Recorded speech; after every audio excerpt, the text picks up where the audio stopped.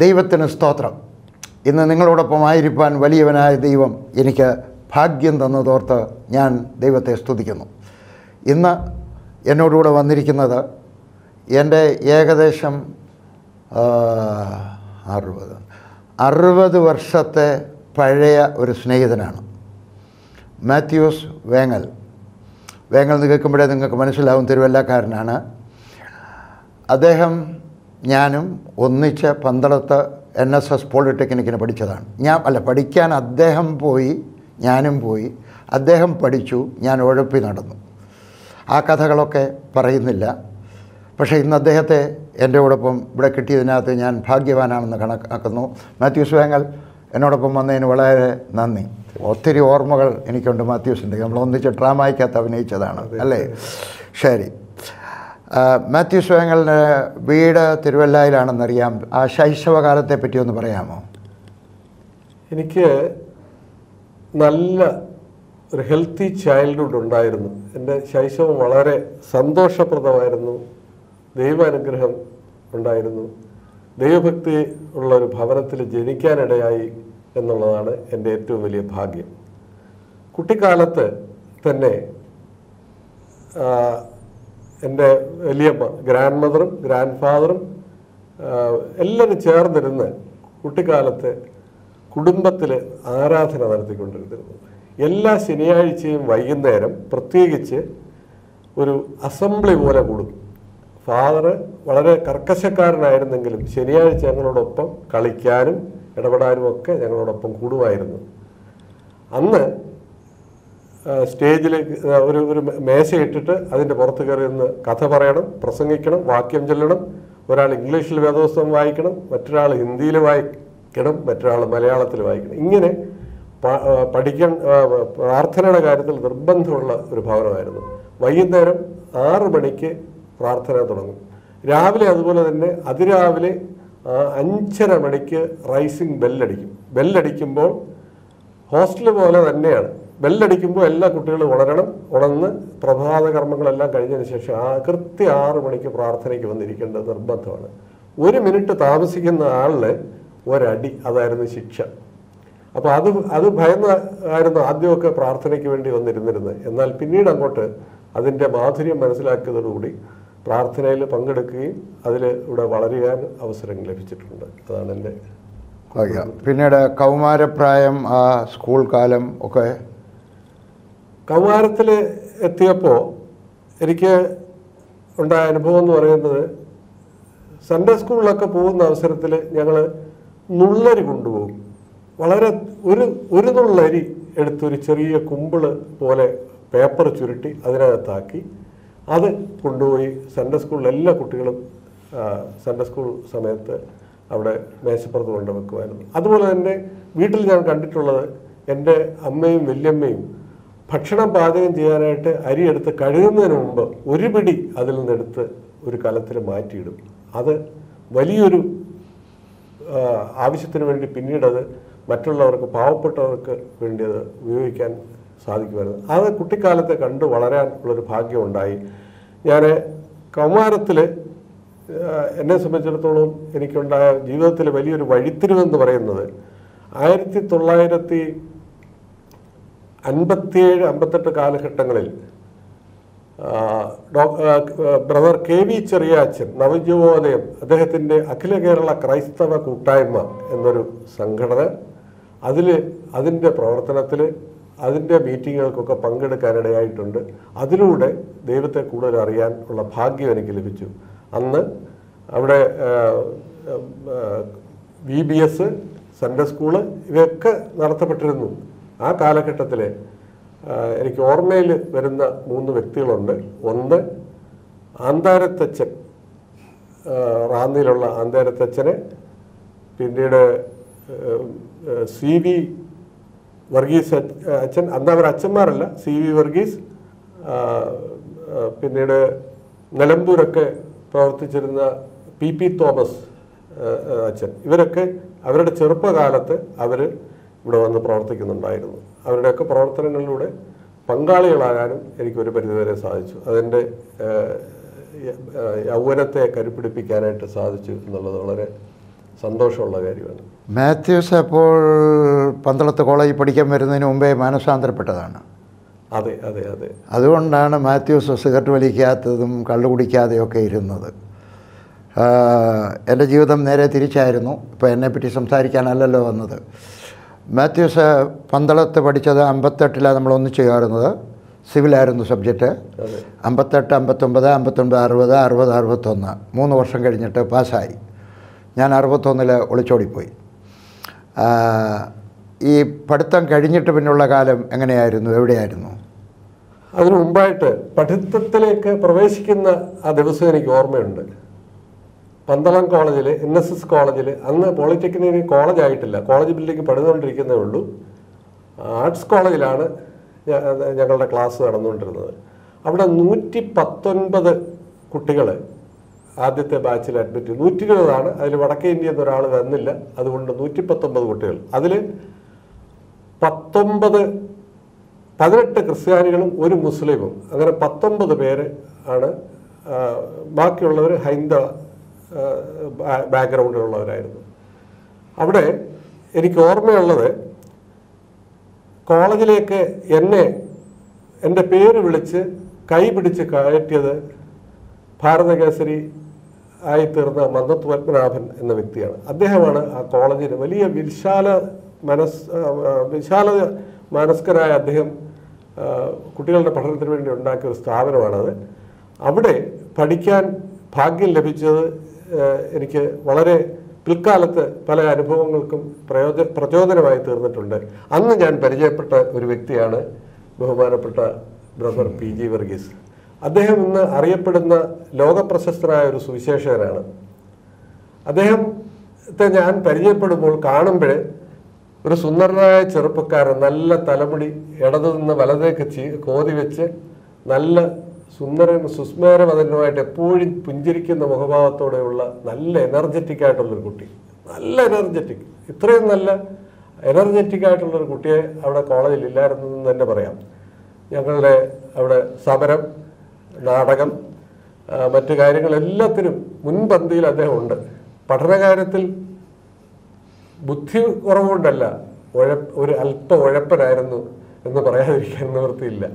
അങ്ങനെ പഠനത്തിൽ വേണ്ട രീതിയിൽ താല്പര്യം പ്രകടിപ്പിച്ചിരുന്ന എങ്കിൽ പോലും വളരെ ബുദ്ധി ഒരു കാരണം ഒരു ഒരു അനുഭവം എനിക്കുണ്ട്. അന്ന് പ്രൊഫസർ ടി ബി കെ മേനോനാണ് ഫിസിക്സിന്റെ പ്രൊഫസർ. ആർ ഡി ആത്മാഭിരാമൻ എന്നൊരാളാണ് ഞങ്ങൾക്ക് പ്രാക്ടിക്കലിലും പ്രാക്ടിക്കൽ ക്ലാസ്സിൽ ഫിസിക്സിൽ വന്നുകൊണ്ടിരുന്നത്. ബ്രദർ ഓർമ്മയ്ക്കെന്ന് വിശ്വസിക്കുന്നു. അന്ന് അവിടെ ഞങ്ങൾക്ക് ലൈറ്റ് റേസിനെ കുറിച്ചുള്ള ഒരു എക്സ്പെരിമെന്റ് സാധാരണ ഇന്റർമീഡിയറ്റ് ഞങ്ങളുടെ കൂട്ടത്തിൽ അധികവും ഇന്റർമീഡിയറ്റ് കഴിഞ്ഞവരായിരുന്നു ഞങ്ങളുടെ ബാച്ചിൽ ഉണ്ടായിരുന്നത്.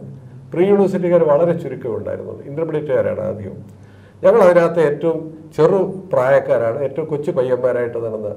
അന്ന് ക്ലാസ്സിൽ ഒരു ഡ്രോയിങ് ഷീറ്റ് വെച്ചിട്ട് അതിലൊരു കണ്ണട വെച്ച് രണ്ട് മൂന്ന് മുട്ടുസൂചി കുത്തിയിട്ട് അതിന്റെ പ്രതിബി പ്രതിബിംബം എങ്ങനെ വരുന്നു എന്ന് കണ്ടെത്താൻ വേണ്ടി ചില എക്സ്പെരിമെന്റ് അത് ചെയ്തു കഴിഞ്ഞപ്പോൾ ഒരു കണ്ണാടിയുടെ ലേക്ക് മുട്ടുസൂചി കുത്തി വെച്ചിട്ട് അതിന് പ്രതിബിംബം എങ്ങനെ അടുത്ത സ്ഥലത്തേക്ക് വരുന്നു എന്നുള്ളത് മാർക്ക് ചെയ്ത് വെക്കണം. അത് ഞങ്ങൾ പഠിച്ചു. അത് പ്രായോഗിക അനുഭവത്തിൽ വരുത്തിയത് പല ഞങ്ങളുടെ സുഹൃത്തുക്കളായ പല പലരുമുണ്ട്. അവർ ചെയ്തുകൊണ്ടെന്ന് വെച്ചാൽ ഹോസ്റ്റലിന്റെ സൈഡിൽ ഒരു റോഡാണ്. ആ റോഡിലൂടെ അനേകം ആളുകൾ വരികയും പോവുകയൊക്കെ ചെയ്യും. പ്രത്യേകിച്ച് കോളേജിൽ നിന്ന് സാറന്മാരൊക്കെ വരുന്നോ എന്നറിയാനായിട്ട് ബ്രദർ പി ജി ഒക്കെ ചെയ്തിരുന്നൊരു പരിപാടി എന്ന് പറഞ്ഞു കഴിഞ്ഞാൽ കണ്ണട എടുത്ത് റോഡിലേക്ക് ഇങ്ങനെ വെക്കും. വരുന്ന ആൾ കണ്ണടയിൽ പതിക്കുന്ന പ്രതിബിംബം അടുത്തൊരു കണ്ണാടിയിൽ വെക്കും. അടുത്ത കണ്ണാടിയിൽ പോയിട്ട് തിരിച്ച് ഒരു കണ്ണാടിയിലൂടെ അദ്ദേഹത്തിനെ കാണാമായിരുന്നു. അങ്ങനെ ഹോസ്റ്റലിൽ റോഡിലേക്ക് വരുന്ന ഏത് കാര്യങ്ങളും ആരെല്ലാം അതിനെ നടന്നു വന്നാലും ബ്രദർ കട്ടിലേ കിടന്നത് കണ്ടുകൊണ്ടിരിക്കുമായിരുന്നു. ആരാണ് പോകുന്നത്? എല്ലാം വിശദമായിട്ട് മനസ്സിലാക്കുമായിരുന്നു. അപ്പോൾ ബുദ്ധിയുടെ കാര്യത്തിൽ യാതൊരു കുഴപ്പമില്ല നല്ല നല്ല സ്മാർട്ടായിരുന്നു. എന്റെ ബുദ്ധിയെപ്പറ്റി പറയുമ്പോൾ എൻജിനീയറിങ്ങിനകത്ത് എനിക്കൊന്നും അറിഞ്ഞുകൂടായിരുന്നു. ഞാൻ ഒത്തിരി കുരുത്തം കെട്ടവനും ഇച്ചിരി ചട്ടമ്പിയും ഓടി നടക്കുന്നവനൊക്കെ ആയതുകൊണ്ട് ക്രിയേറ്റീവായിട്ട് പലതും ചെയ്യുവാൻ ഉള്ള കൃപയുണ്ടായിരുന്നു. ദൈവം തന്ന കൃപയാണ്. അത് ഇന്നാണ് പ്രയോജനപ്പെടുന്നത്. മാത്യൂസ് പഠിച്ചു കഴിഞ്ഞ് വെച്ച് പിന്നെ അങ്ങോട്ടാണ് പോയത്? ജോലി ആദ്യം കിട്ടിയത് എനിക്ക് റെയിൽവേയിലായിരുന്നു. പന്ത് കളിക്കാരനാണെന്ന് ഞാൻ പറഞ്ഞല്ലോ. പന്ത് കളിയുടെ കെയർ ഓഫിൽ എനിക്ക് റെയിൽവേയിൽ ടെമ്പററി ജോബ് കിട്ടി. അന്ന് മൂന്ന് രൂപയാണ് ശമ്പളം. ശമ്പളമല്ല കൂലിയാണ്. മൂന്ന് രൂപ. ഒരു ദിവസം. ഒരു ദിവസം മൂന്ന് രൂപ മാത്രം. അത് തള്ളവരൽ പതിച്ച് വേണം വാങ്ങാൻ. അപ്പോൾ അന്ന് ഒലവക്കോട് റെയിൽവേ സ്റ്റേഷനിൽ നിന്ന് ഇങ്ങനെ തള്ളവരൽ പതിക്കുമ്പോൾ ഞാൻ ഇടം വലവൊക്കെ നോക്കും. ആരെങ്കിലും ഇത് കാണുന്നുണ്ടോ എന്ന്.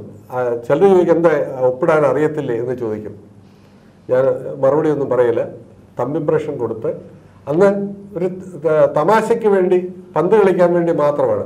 അത് ജോലി ചെയ്യേണ്ട പന്ത് കളി മാത്രമാണ് എന്ന് എന്റെ എനിക്ക് വെച്ചിരുന്ന പരിപാടികൾ.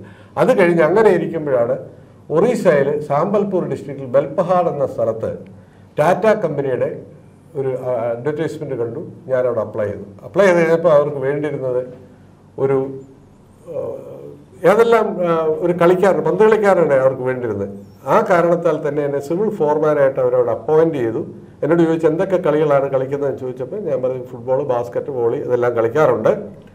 അപ്പോൾ ഫുട്ബോളിൽ ഏത് പൊസിഷൻ ഞാൻ പറഞ്ഞു ഗോൾ കീപ്പറായിട്ടാണ് നിൽക്കുന്നതെന്ന് പറഞ്ഞു. അപ്പോൾ പറഞ്ഞു ഞങ്ങൾക്ക് ഇവിടെ ഒരു ഗോൾ കീപ്പറുടെ കുറവുണ്ട്.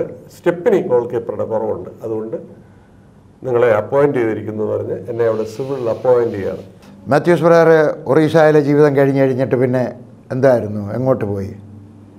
ഒറീസയിൽ നിന്ന് അന്ന് ഞാൻ ഒറീസയിൽ അത്യാനന്ദ കൽക്കോ എന്ന ആദിവാസി ഞങ്ങളുടെ അന്ന് സ്റ്റേറ്റ് പ്ലെയർ ആയിരുന്നു. അദ്ദേഹം ഞങ്ങളുടെ ടീമിലുണ്ടായിരുന്നു.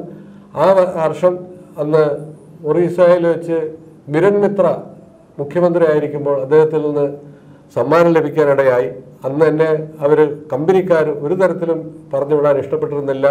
ഞാനവിടെ തുടരണമെന്ന് അവർ ആഗ്രഹിച്ചത് എനിക്ക് പ്രൊമോഷൻ തരാമെന്നൊക്കെ പറഞ്ഞു. എന്നാലും നാട്ടിലേക്ക് വരാനുള്ള എന്റെ ആവശ്യം ആഗ്രഹം ആയിരത്തി തൊള്ളായിരത്തി അറുപത്തി മൂന്ന് അറുപത്തിനാല് കാലഘട്ടങ്ങളിൽ അവിടെ ഉണ്ടായ വലിയ വർഗീയ ലഹള.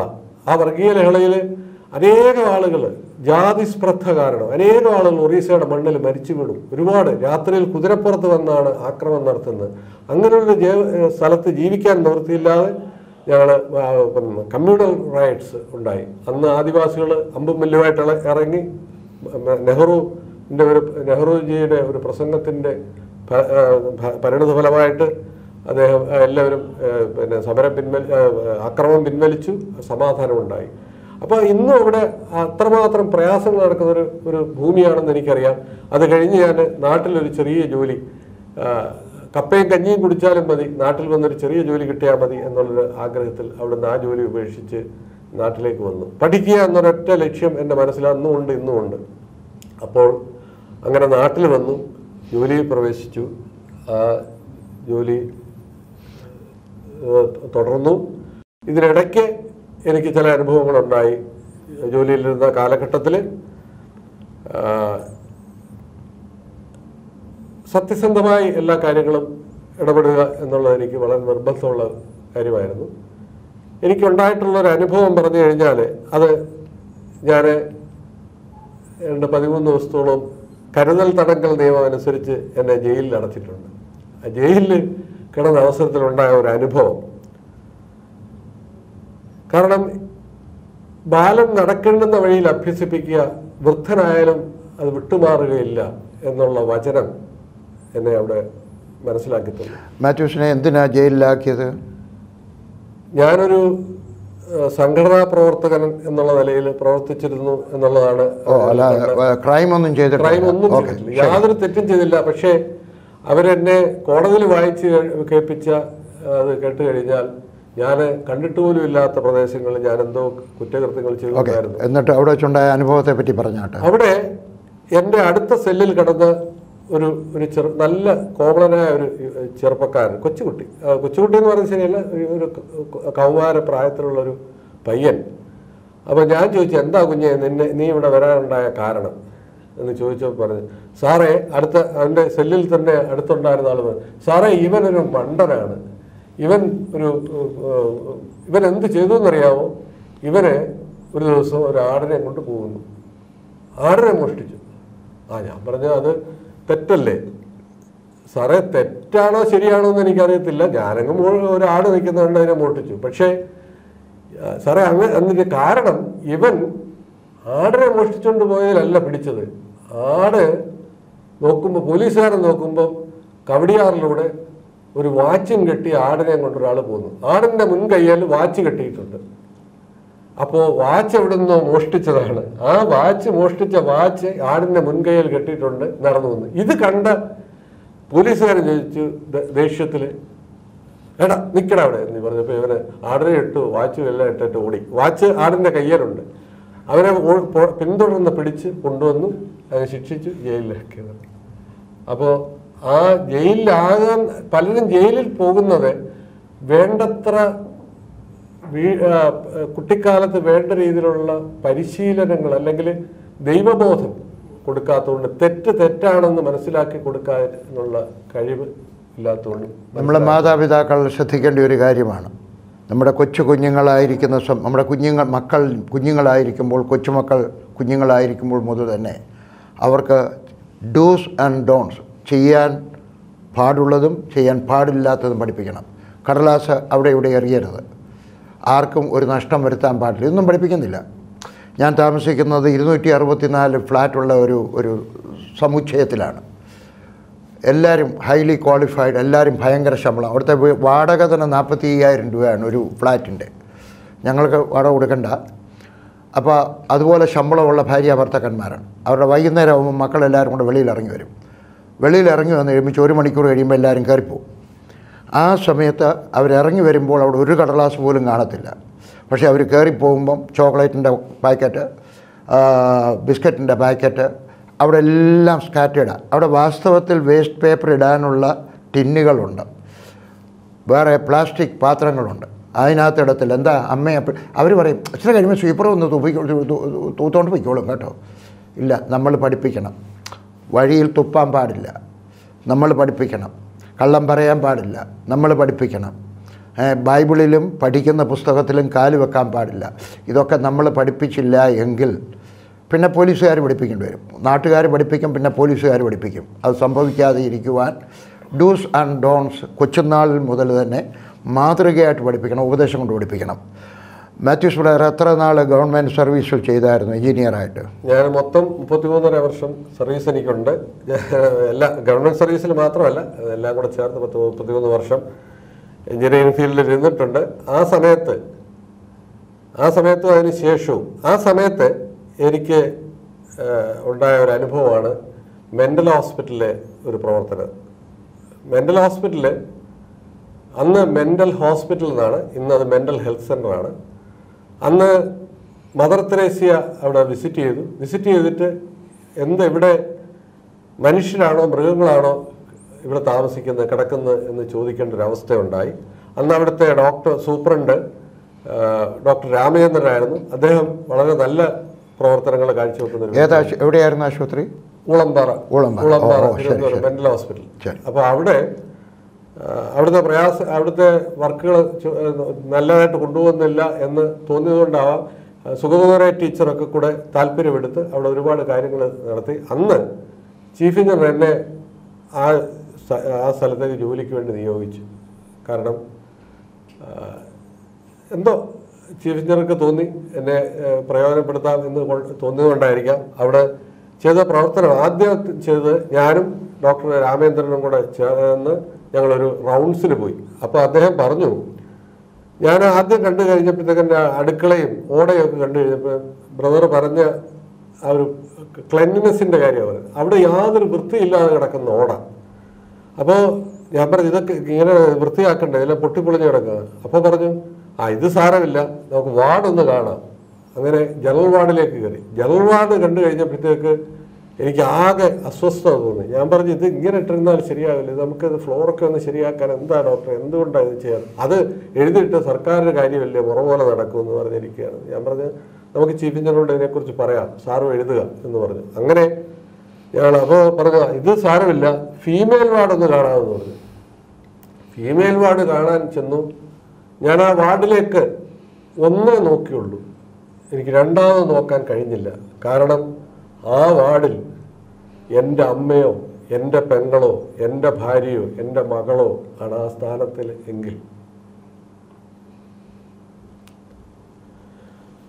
എനിക്കൊരിക്കൽ പോലും ചിന്തിക്കാൻ കഴിയാത്ത രീതിയിൽ ഇന്നും ഓർമ്മയിൽ ആ ആ പിക്ചർ നിൽക്കുന്നുണ്ട്. മൃഗങ്ങൾ പീരീഡ്സൊക്കെ ആയാൽ ഇത്രമാത്രം വൃത്തിഹീനമായിട്ട് കഴിയില്ല.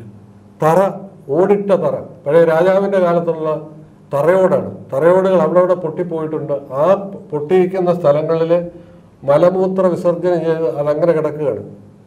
നൂൽ ബന്ധമില്ലാതെ ഈ സഹോദരിമാർ അവിടെ കഴിയുന്നു. അവർക്ക് വാർഡന്മാർ ഹോസിട്ട് നിങ്ങൾ നിങ്ങളുടെ പട്ടിയെ കുളിപ്പിക്കുകയാണെങ്കിൽ പോലും ഹോസ് ഇട്ട് കുളിപ്പിച്ചതിന് ശേഷം അതിന് തലോടി സോപ്പിട്ട് എല്ലാ വൃത്തിയാക്കും കുളിപ്പിക്കും.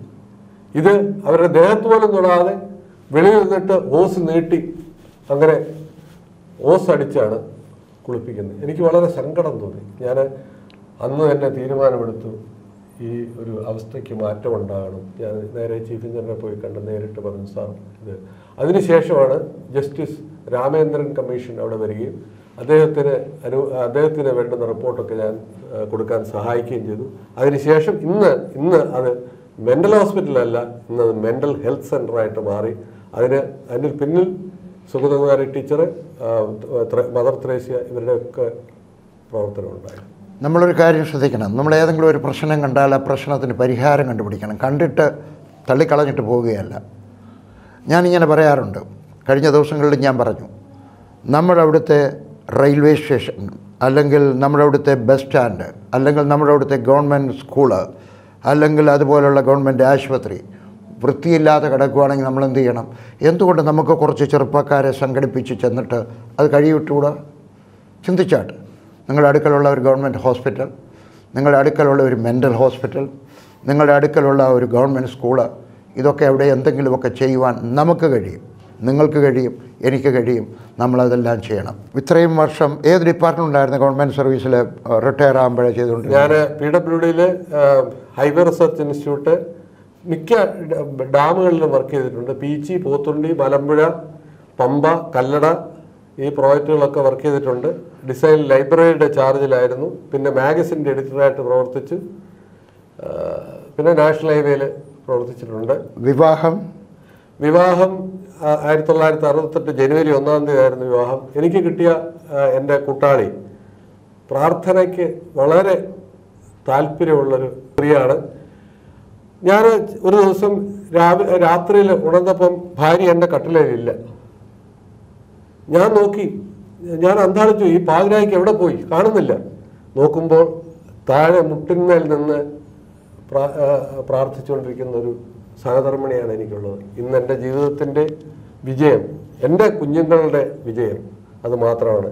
എനിക്ക് കുട്ടികൾക്ക് നിങ്ങളൊക്കെ കുട്ടികൾക്ക് സമ്മാനങ്ങൾ ഒരുപാടൊക്കെ കൊടുക്കുന്നവരായിരിക്കും. പക്ഷേ ഞാൻ എന്റെ കുട്ടികൾക്ക് ഞാൻ പറഞ്ഞ ഞാൻ പറഞ്ഞു എനിക്കൊന്നും നിങ്ങൾക്ക് തരാനില്ല. നിങ്ങൾക്ക് തരാനുള്ളത് ഇത് മാത്രമാണ്. ഇതാണ് നിങ്ങൾക്ക് തരുന്നത്. എല്ലാ മക്കൾക്കും മൂന്ന് എനിക്ക് മൂന്ന് മക്കളുണ്ട്.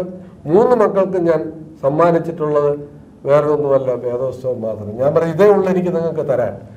ഞാൻ അവർ കുട്ടിക്കാലത്ത് അവർക്ക് സൺഡേ സ്കൂളിൽ പോകാൻ സാധ്യമല്ലാത്ത സമയത്ത് ഒരു ഒരാളിനെ ഒരു ഉപദേശിയെ എന്റെ വീട്ടിൽ വരു വിളിച്ച് വരുത്തി ട്യൂഷൻ പോലെ ക്ലാസ് എടുത്തു കൊടുത്തിട്ടുണ്ട്. ഇന്ന് അതുകൊണ്ട് അവരാരും നഷ്ടപ്പെട്ടിട്ടില്ല. ഒരാൾ എല്ലാവരും തന്നെ ദൈവഭാഗത്ത് നിൽക്കുന്നവരാണ് എന്നുള്ളത് എനിക്ക് ഏറ്റവും വലിയ സന്തോഷം. എന്റെ ജീവിതത്തിൽ ഏറ്റവും വലിയ ഭാഗ്യം അതാണ്. മക്കളും കൊച്ചുമക്കളും ദൈവത്തെ അറിഞ്ഞ് ജീവിക്കുന്നു എന്നുള്ളതാണ് എന്റെ ഭാഗ്യം. ഒരു ഉപദേശിക്ക് രൂപ കൊടുത്ത് വീട്ടിൽ വരുത്തി വേദപുസ്തകം പഠിപ്പിച്ചു. മക്കളെ വേദപുസ്തകം പഠിപ്പിക്കാനുള്ള ജോലി അപ്പന്റെയാണ്. അപ്പനേക്കാൾ ചൊവ്വിന് ഒരു ഉപദേശിക്ക് ചെയ്യാൻ കഴിയുമെന്ന് അറിഞ്ഞപ്പോൾ വിചാരിച്ചപ്പോൾ ഉപദേശി വിളിച്ചു. എവിടെ എഴുതി- എഴുതിയിരിക്കുന്ന അപ്പൻ പഠിപ്പിക്കണമെന്ന്? ഉൽപ്പത്തി പുസ്തകം പതിനെട്ടാം അധ്യായത്തിന്റെ പത്തൊൻപതാമത്തെ വാക്യം. ദൈവം പറയുന്നു അബ്രഹാമിനെ ഞാൻ എന്തെങ്കിലും പഠിപ്പിച്ചാൽ അവൻ അവന്റെ മക്കളെ പഠിപ്പിക്കും. ആര്? ഷാറായല്ല അപ്പൻ. ഷാറായും പഠിപ്പിക്കണം പക്ഷേ അപ്പന്റെ ചുമതല. അപ്പന്റെ ചുമതലയാണ്. വേദപുസ്തകത്തിന്റെ ഞാൻ ഒരിടത്ത് പോലും വേദപുസ്തകം അമ്മ പഠിപ്പിക്കണമെന്ന് പറഞ്ഞിട്ടില്ല. അമ്മ പഠിപ്പിക്കരുതെന്നല്ല ഞാൻ പറഞ്ഞതിന്റെ അർത്ഥം. അപ്പന്റെ ചുമതലയാണ്. ബ്രദറിന്റെ ഭാര്യ എന്തുവാ? ടീച്ചറോ? എന്തുവാ ജോലി? വി എസ് വിക്രം സാറാബായ ടെക്നീഷ്യനായിരുന്നു. വി എസ് എസിൽ ടെക്നീഷ്യനായിട്ട് പ്രവർത്തിക്കുക. ശരി. ശരി. എവിടെ പഠിച്ചത് സഹോ മിസ്സസ് അവർ മൈസൂരിൽ പഠിച്ചതാണ്. പഠിച്ചു വെച്ച് വന്നതാണ്. മൂന്ന് മക്കളെ കർത്താവ് അനുഗ്രഹിച്ചിരിക്കുന്നു. ബ്രദറിന്റെ ഈ സർവീസ് സമയത്ത് മറക്കാനൊക്കാത്ത ഒരു സംഭവം എന്താ ഉണ്ടായത്? പല ഇന്ന് ബഹുമാനപ്പെട്ട മുഖ്യമന്ത്രി പിണറായി വിജയൻ പറയുന്നത് പോലെ നമ്മുടെ മേശപ്പുറത്ത് വരുന്ന ഓരോ ഫയലുകളും അതിന്റെ പിന്നിലൊരു ജീവനുണ്ട്. എന്നാണ് ഞാൻ മനസ്സിലാക്കിയത്. അദ്ദേഹം പറഞ്ഞത് വളരെ സത്യമാണ്. ഓരോ ഫയലിന്റെ പിന്നിലൊരു ജീവിതമുണ്ട്. ഇന്ന് പത്രമെടുത്ത് നോക്കുക ആത്മഹത്യ റിപ്പോർട്ട് ചെയ്യാത്ത ഒരു പത്ര ഒരു ഒരു പത്രം പോലും ഒരു ദിവസം പോലും ഉണ്ടായിട്ടില്ല. അതുപോലെ തന്നെ കുട്ടികളുടെ ജീവിതത്തിൽ ഒളിച്ചോട്ടം മദ്യപാനം കഞ്ചാവ് മയക്ക് മയക്കുമരുന്ന് അതിന്റെ കള്ളക്കടത്തുകൾ ഇതല്ലാതെ പത്രം നിറഞ്ഞു നിൽക്കുന്ന വാർത്തകൾ അത് മാത്രമായിട്ട് മാറുന്നത് സങ്കടം തോന്നുന്നുണ്ട്. അതുപോലെ തന്നെയാണ് ഇന്ന് റെട്ടൈപ്പിസം വളരെയധികം വർദ്ധിച്ചിരിക്കുകയാണ്. ഒരു കാരണവശാലും നമ്മുടെ മുന്നിൽ വരുന്ന ഫയലിൽ അതിന്റെ പിന്നിൽ ഒരു ജീവൻ തുടിക്കുന്നുണ്ട് എന്ന് ചിന്തിക്കാൻ എത്രയോ പ്രാവശ്യം മുഖ്യമന്ത്രി പറഞ്ഞിട്ടും ആളുകൾ അതിന് തുനിയുന്നില്ല അത് അതിനനുസരിച്ച് പ്രവർത്തിക്കുന്നില്ല എന്നൊരു സങ്കടം ഇന്നും എനിക്ക് എന്നെ എന്നിൽ അവശേഷിക്കുന്നു. ഗവൺമെന്റ് ഉദ്യോഗസ്ഥന്മാരും ഉദ്യോഗസ്ഥന്മാരും ഇക്കാര്യം ശ്രദ്ധിക്കണം. നിങ്ങളുടെ മുമ്പാകെ വരുന്നത്. ഇത് ഓർമ്മയിരിക്കട്ടെ. മന്ത്രി പറഞ്ഞത് മന്ത്രിയുടെ ചുമതല ആത്മീയരായ ഞങ്ങൾ പറയുന്നത് ദൈവത്തിന്റെ ശബ്ദമായിട്ട് സ്വീകരിച്ചാലും. ഇതിന്റെ പുറകിൽ കരയുന്ന വിതുമ്പുന്ന ഒരു ജീവിതമുണ്ട് ഒരു വ്യക്തിയുണ്ട്. അതുകൊണ്ട് ഫയലുകൾ താമസിക്കാതെ കഴിയുമ്പോൾ സഹായിക്കുക. സഹായം താമസിച്ച് കിട്ടിയിട്ട് അർത്ഥമില്ല. മരിച്ചു കഴിഞ്ഞിട്ട് പെൻഷൻ കിട്ടിയ പ്രയോജനമില്ല. അതൊരു കാര്യം. മാത്യു സുരാർ എഞ്ചിനീയറിംഗ് ഡിപ്ലോമ കഴിഞ്ഞു. പിന്നെ എന്തൊക്കെ പഠിച്ചു? Engineering college N S S polytechnic കോളേജിൽ നിന്ന് എഞ്ചിനീയറിംഗ് സിവിൽ എഞ്ചിനീയറിംഗ് ഡിപ്ലോമ പാസ്സായതിനു ശേഷം ട്രിവാൻഡ്രം എഞ്ചിനീയറിംഗ് കോളേജിൽ നിന്ന് എ എം ഐ രണ്ട് വർഷം കെ എസ് ചാക്കോ സാർ പ്രിൻസിപ്പലായിരിക്കുമ്പോൾ അവിടെ എ എം ഐ പഠിച്ചു. അന്ന് പഠിത്തം പൂർത്തിയാക്കി സെക്ഷൻ എ കംപ്ലീറ്റ് ചെയ്ത് സെക്ഷൻ ബി പഠിച്ചുകൊണ്ടിരിക്കുമ്പോഴാണ് സ്ഥലം മാറ്റം ഉണ്ടായി ആ, മലബാർ ഏരിയയിലേക്ക് സ്ഥലം മാറ്റപ്പെട്ടു. അങ്ങനെ പഠനം അവിടെ വെച്ച് ഡിസ്കണ്ടിന്യൂ ചെയ്യേണ്ടി വന്നു. വീണ്ടും തിരുവനന്തപുരം എഞ്ചിനീയറിംഗ് കോളേജിൽ വന്ന് നൈറ്റ് ക്ലാസ് പാർട്ട് ടൈം ആയിട്ട് എഞ്ചിനീയറിംഗ് പാസ്സായി അതിനുശേഷം ലോ കോളേജിൽ പോയി നിയമ വിദ്യാഭ്യാസം നടത്തി. നിയമ പരീക്ഷ എഴുതുന്ന സമയമായപ്പോൾ എനിക്ക് സാമ്പത്തികമായിട്ടുള്ള ചില പ്രയാസങ്ങളും കുട്ടികളുടെ പഠനത്തിൽ അവർ പിന്നോക്കം പോകുന്നു എന്നൊരു സംശയവും കാരണം ഞാൻ ആ പരീക്ഷ എഴുതാൻ തുനിഞ്ഞില്ല. അതുപോലെ അന്ന് മുതൽ എനിക്ക് സർവീസിൽ കയറിയ ആ മെന്റൽ ഹോസ്പിറ്റലിലെ ആ ഒരു ആ അനുഭവം എന്നെ വളരെയധികം സ്വാധീനിച്ചു. ഞാൻ കൗൺസിലിംഗ് പഠിക്കാനിടയായി. കൗൺസിലിങ്ങിൽ സൈക്കോളജിയിൽ പോസ്റ്റ് ഗ്രാജുവേറ്റ് ഡിഗ്രിയും കൗൺസിലിംഗ് ടി എ ട്രാൻസാക്ഷൻ അനാലിസിൽ ബാച്ചിലർ ഡിഗ്രിയും ന്യൂറോ മറ്റ് പല മേഖലകളിൽ തീം സെന്റേഡ് ഇൻട്രാക്ഷൻ എന്ന ഹ്യൂമനിസ്റ്റിക് സൈക്കോളജിയുടെ അതിന്റെ ഇന്റർനാഷണൽ ഡിപ്ലോമയും ഒക്കെ പഠിക്കാൻ ഇന്നും ഞാനൊരു പഠിതാവാണ്. ഇന്ന് ഞാൻ പഠിച്ചുകൊണ്ട് ഇപ്പോൾ നമ്മുടെ ലൈഫ് ലൈവ് യൂണിവേഴ്സിറ്റി എന്ന് പറയുന്ന അമേരിക്കയിൽ നിന്ന് ബിബ്ലിക്കൽ കൗൺസിലിംഗ് എടുക്കാനിടയായി. അതുപോലെ തന്നെ സൊറാംബൂർ യൂണിവേഴ്സിറ്റിയുടെ diploma in clinical and pastoral counselling പാസ്സായി. ഇതെല്ലാം എന്നെ കൊണ്ട് എത്തിക്കുന്നത് എഞ്ചിനീയറിംഗ് പഠിക്കാനായിരുന്നില്ല എന്റെ നിയോഗം എന്ന് ഞാൻ മനസ്സിലാക്കുന്നു. എന്റെ നിയോഗം ദൈവ നിയോഗം ബ്രദർ എഞ്ചിനീയറിംഗ് പഠിക്കാനല്ലായിരുന്നു നിയോഗം. അതുപോലെ എന്റെ നിയോഗം അതല്ലായിരുന്നിട്ട് പോലും ഞാൻ അതിലേക്ക് അതിലൂടെ ചരിക്കുകയാണ് ഉണ്ടായത്. പക്ഷേ എന്നാൽ റിട്ടയർമെന്റിന് ശേഷം ഇന്നിപ്പോൾ ഒരു ആത്മഹത്യാ പ്രതിരോധ പ്രവർത്തനത്തിന്റെ പ്രവർത്തനമായിട്ട് ബ്രദറെ ഈ റിട്ടയർ ആയതിന് ശേഷമാണോ ഇതൊക്കെ പഠിച്ചത്? ഈ സൈക്കോളജിയുടെയും ഒക്കെ പഠിക്കാൻ പോയത്? അതോ അതിന് പഠിക്കുന്നുണ്ടായിരുന്നു? ഒട്ടുമുക്കാലും റിട്ടയർമെന്റിന് ശേഷമാണ് പഠിക്കുന്നത്. ഇതൊരു വലിയ ഇമ്പോർട്ടന്റ് പോയിന്റാണ് നിങ്ങളായിരിക്കുന്ന നിലയിലായിരിക്കാൻ വിസമ്മതിക്കുക. എന്തെങ്കിലുമൊക്കെ പഠിക്കുക. ബി കോം പഠിച്ചാണോ? എം കോം പഠിച്ചാട്ടെ. എം കോം പഠിച്ചാണോ? സി എ പഠിച്ചാട്ടെ. എന്തെങ്കിലുമൊക്കെ പഠിക്കുക. പഠിക്കുന്നത് നിർത്തരുത്. ഞാനൊരു സ്റ്റുഡന്റാണ് ഞാൻ എത്ര മണിക്കൂർ ബൈബിൾ വാസ്തവത്തിൽ പഠിക്കുന്നു? എന്റെ എന്റെ ഫീൽഡ് അതാണ്. എത്ര മണിക്കൂർ പഠിക്കുന്നുണ്ട്? ഞാൻ ഇടയ്ക്ക് ബിസിനസ് മാനേജ്മെന്റ് പഠിച്ചിട്ടുണ്ട്. ഓഫീസ് മാനേജ്മെന്റ് കൂടി പഠിച്ചിട്ടുണ്ട്. ഇതെല്ലാം എന്തിനാണ് പഠിച്ച്? എന്റെ പ്രവർത്തനത്തിൽ എന്റെ ഓഫീസിൽ എന്റെ സംഘടനയ്ക്കകത്ത്. ഡിഗ്രിക്കൊന്നും പോയില്ല. എക്സാമിനേഷനും എഴുതാൻ പോയില്ല. പക്ഷേ ഇതെല്ലാം ഞാനും പഠിച്ചു. നിങ്ങളും പഠിക്കുക. എന്തെങ്കിലുമൊക്കെ പഠിക്കുക. അദ്ദേഹം പെൻഷനായതിനു ശേഷം പല ഡിഗ്രികൾ എടുത്തു. അമേരിക്കയിലും പോയി പഠിച്ചു അല്ലേ? അമേരിക്കയിലും പോയി പഠിച്ചു. അതൊന്നും ഇങ്ങോട്ട് രൂപ കിട്ടുന്നതല്ല. പക്ഷെ അതിനെല്ലാം പഠിച്ചു ഇപ്പോഴും പഠിച്ചുകൊണ്ടിരിക്കുന്നു എന്തെങ്കിലുമൊക്കെ പഠിക്കുക സമൂഹത്തിന് പ്രയോജനപ്പെടുന്ന.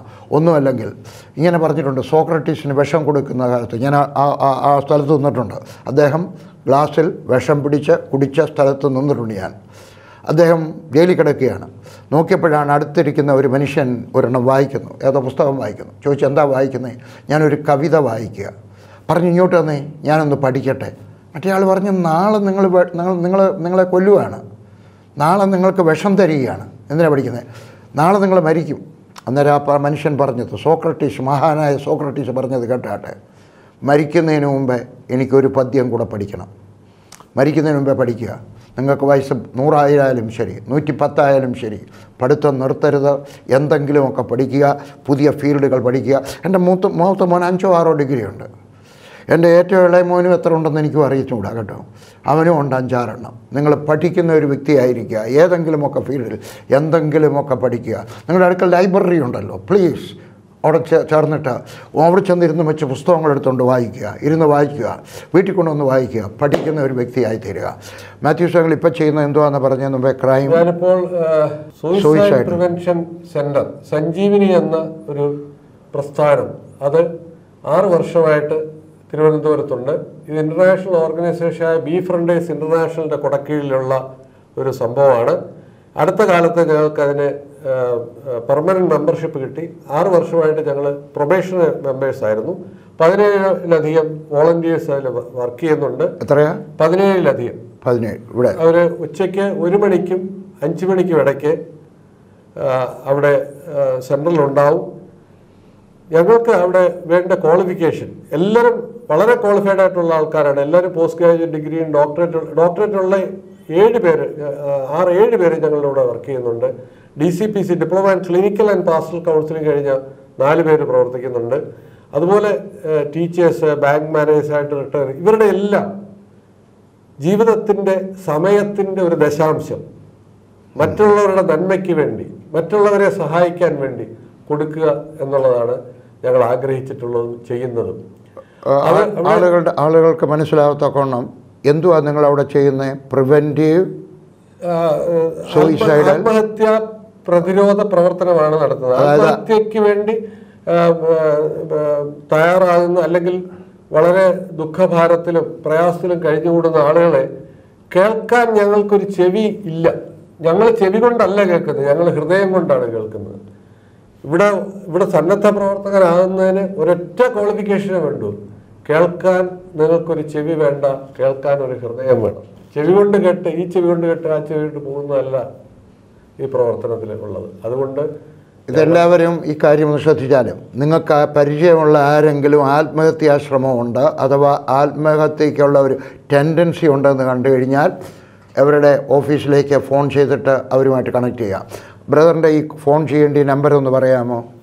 Zero four seven one two five double three nine double zero ഇതിനകത്ത് ഏതെങ്കിലും കോൺടാക്റ്റ് ചെയ്യുക. ഒരാളിനെ രക്ഷിക്കാൻ കഴിയും. ചിലപ്പോൾ നിങ്ങളുടെ വീട്ടിൽ തന്നെ ഒരാൾ ഉണ്ടായിരിക്കാം. നിങ്ങളുടെ സഭയിൽ ഒരാൾ ഉണ്ടായിരിക്കാം. നിങ്ങളുടെ ദേശത്ത് ഒരാൾ ഉണ്ടായിരിക്കാം. നിങ്ങളുടെ കൂടെ ജോലി ചെയ്യുന്ന ഒരാൾ പറയും ആ ഞാൻ ചാവാൻ പോവാണ്. കണക്ട് ചെയ്താട്ട് അവർ ക്വാളിഫൈഡ് ആൾക്കാരാണ്. രൂപയ്ക്ക് വേണ്ടിയല്ല പ്രവർത്തിക്കുന്നത്. ആളുകളെ രക്ഷിക്കാനായിട്ടൊരു ഒരു ഭാരം ഉണ്ടായതുകൊണ്ട് പ്രവർത്തിക്കുകയാണ്. ബ്രദറെ ഇങ്ങനെ രക്ഷിച്ചിട്ടുള്ള ആരുടെയെങ്കിലും ഒന്നോ രണ്ടോ പേരുടെ ഞങ്ങളൊക്കെ രണ്ടായിരത്തോളം പേര് ഈ ഈ ആങ്സൈറ്റി ഡിപ്രഷൻ ഇതായിട്ടൊക്കെ ഉള്ള രണ്ടായിരത്തിലധികം ആൾക്കാർ ഞങ്ങളെ സമീപിച്ചിട്ടുണ്ട്. അതിൽ അറുപതോളം പേര് ആക്റ്റീവ് സൂയിസൈഡ് അതായത് ആത്മഹത്യ ചെയ്യുമെന്നുള്ള തീർച്ചയായിട്ടുള്ള അറുപത് പേരെ പേരെങ്കിലും ഞങ്ങൾക്ക് അതിൽ നിന്ന് പിന്തിരിപ്പിക്കാൻ കഴിഞ്ഞിട്ടുള്ള ഒരു ഒരു ഒരു സന്തോഷമുണ്ട്. ഞങ്ങളുടെ വോളണ്ടിയേഴ്സ് എല്ലാം വളരെ ആത്മാർത്ഥമുള്ളവരും പരസ്പര ബഹുമാനത്തോടും സ്നേഹത്തോടും പ്രവർത്തിക്കുന്നവരാണ്. അതാണ് അതിന്റെ വിജയം. നല്ലൊരു കൂട്ടായ്മയുണ്ട്. ഞങ്ങൾ അവിടെ പ്രവർത്തിക്കുന്നു. ഒരു പല ഒരുപാട് ഒരുപാട് കാര്യങ്ങൾ പറയാനുണ്ട്. ഇപ്പോൾ ആത്മഹത്യ ചെയ്യുന്നതിൽ ഏറ്റവും കൂടുതൽ ചെറുപ്പക്കാർ ആത്മഹത്യക്ക് ആത്മഹത്യ ചെയ്യുന്നുണ്ട്. അതിന്റെ പിന്നിലുള്ള കാരണങ്ങൾ മദ്യവും മയക്കുമരുന്നുമാണ് മൂലമുണ്ടാകുന്ന അതിന്റെ തിക്തഫലങ്ങൾ മദ്യ മദ്യപാനത്തിന്റെയും മയക്കുമരുന്നിന്റെയും ഫലമായിട്ടുണ്ടാകുന്ന നിരാശ മുതലായ കാര്യങ്ങളുമുണ്ട്. അവർ ആത്മഹത്യയിലേക്ക് നീങ്ങുന്നുണ്ട്. അവർ ഹാലുസിനേഷൻസ് ഉണ്ടാകാറുണ്ട്. പലപ്പോഴും അവർ ശബ്ദ അശരീര ശബ്ദങ്ങൾ കേൾക്കുന്നതായിട്ട് മറ്റ് കാഴ്ചകൾ കാണുന്നതായിട്ട് ഒക്കെ വന്നിട്ട് കുടുംബത്തിൽ പല പല ബുദ്ധിമുട്ടുകൾ കൊലപാതകങ്ങൾ വരെ നടക്കുന്ന രീതിയിലുള്ള അനുഭവങ്ങൾ അവർ പങ്കുവച്ചിട്ടുണ്ട്. ഒരു കുറേ അതി സമയമില്ലാത്തപ്പോൾ കുറെ ഒന്ന് രണ്ട് കാര്യങ്ങൾ പറയാം. ഒരാൾ ഒരു ദിവസം പിന്നെ സെന്ററിലേക്ക് കടന്നു വന്നു. സ്കൂട്ടറിലാണ് വന്നത്. ഒരു പള്ളിയിലച്ഛനാണ് കൂട്ടിക്കൊണ്ട് വന്നത്. അവിടെ വന്നു കഴിഞ്ഞപ്പോഴത്തേക്ക് ഞങ്ങൾ ഇടപെട്ട് സംസാരിച്ചു കഴിഞ്ഞ് അദ്ദേഹം വന്നത് ആഹ്, നെടുമങ്ങാടിനപ്പുറത്തുള്ള സ്ഥലത്തു നിന്ന് വന്നതാണ്. അദ്ദേഹം വന്നു കഴിഞ്ഞ് വലിയതുറ എന്നൊരു കടൽ കടലിൽ വലിയതുറ പാലത്തിൽ നിന്ന് ചാടി ആത്മഹത്യ ചെയ്യാനുള്ള ഉദ്ദേശത്തിലാണ് വന്നത്. അപ്പോഴേ ആണ് ഈ ഞങ്ങളുടെ ലഘുലേഖ എന്ന് കാണാനിടയായി. അങ്ങനെ അവിടെ വന്ന് ഫോൺ നമ്പറിൽ വിളിച്ചു അവിടെ വന്നു. ഇടപെട്ട് കഴിഞ്ഞപ്പോൾ അദ്ദേഹം ജീവിതത്തിന് അർത്ഥമുണ്ടെന്നും ആത്മഹത്യ ഒന്നിനും പരിഹാരമല്ല അതൊരു ഒരു സൊല്യൂഷൻ അല്ല എന്ന് മനസ്സിലാക്കുകയും ജീവന്റെ ദാതാവ് ജീവൻ നൽകിയ ദൈവത്തിനല്ലാതെ ജീവനെ എടുക്കാൻ അവകാശമില്ല എന്ന് മനസ്സിലാക്കി കഴിഞ്ഞപ്പോൾ അദ്ദേഹം എന്നോട് പറഞ്ഞു സാറേ ഒരു അൻപത് രൂപ തരാമോ. ഞാൻ പറഞ്ഞു ഞങ്ങൾ ഒരു പൈസ പോലും ആർക്കും കൊടുക്കാറുമില്ല വാങ്ങാറുമില്ല. അല്ല ഞാൻ ചോദിച്ചു എന്താണ് സഹോദര നിങ്ങളുടെ ആവശ്യം?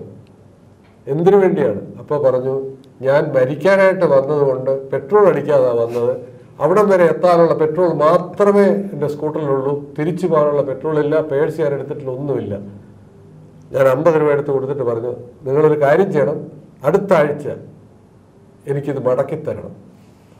അപ്പോൾ അയാൾ പറഞ്ഞു സാറേ ഞാൻ തരാമെന്ന് ആദ്യം എന്നോട് പറഞ്ഞിട്ടാണ്. രൂപ കടം വേണമെന്നാണ് പറഞ്ഞത്. ഞാൻ പറഞ്ഞു അടുത്ത ആഴ്ച തരാം. അതൊരു കോൺട്രാക്റ്റ് ആയിരുന്നു. ഒരു ഞങ്ങൾ ചെറിയ കോൺട്രാക്റ്റ് വെക്കും അവരായിട്ട് നിങ്ങൾ ഉടനെ മരിക്കരുത്. എപ്പോഴെങ്കിലും നിങ്ങൾക്ക് പ്രയാസം തോന്നുന്നത് നിങ്ങൾ എന്നെ വിളിക്കണം. അതിനാണ് വീണ്ടും അയാൾ അടുത്ത ആഴ്ച വരുമ്പോൾ അയാളുമായിട്ട് കൂടുതൽ ഇടപെടാൻ കഴിയും. കൂടുതൽ കാര്യങ്ങൾ മനസ്സിലാക്കി കൊടുക്കാനും ദൈവത്തിന്റെ സ്നേഹം എന്താണെന്ന് ഞങ്ങൾക്ക് മനസ്സിലാക്കി കൊടുക്കാൻ കഴിയും. അതാണ്. നമുക്കൊരാളിനെ രക്ഷിക്കുവാൻ കഴിയും. ആത്മഹത്യയെപ്പറ്റി ചിന്തിക്കുന്ന നിരാശയുടെ വക്കിലായിരിക്കുന്ന ഇനി മുമ്പോട്ട് പോകാൻ നിവൃത്തിയില്ല. നമുക്ക് അവരെ കുറ്റം പറയാനൊക്കത്തില്ല. അപ്പോൾ അവരെ രക്ഷിക്കുവാൻ കഴിയും. ഈ നമ്പർ നോട്ട് ചെയ്ത് നിങ്ങളുടെ ഡയറിയിൽ എവിടെയെങ്കിലും സൂക്ഷിച്ചു വയ്ക്കുക. എന്നിട്ട് ആരെങ്കിലും ആത്മഹത്യയെപ്പറ്റി സംസാരിക്കുന്നെങ്കിൽ ചിന്തിക്കുന്നതായിട്ട് നിങ്ങൾക്ക് തോന്നിയാൽ അവരുമായിട്ട് കണക്ട് ചെയ്യുക. മാത്യൂസ് നിങ്ങളെ ഏറ്റവും അവസാനമായിട്ടൊരു ചോദ്യം.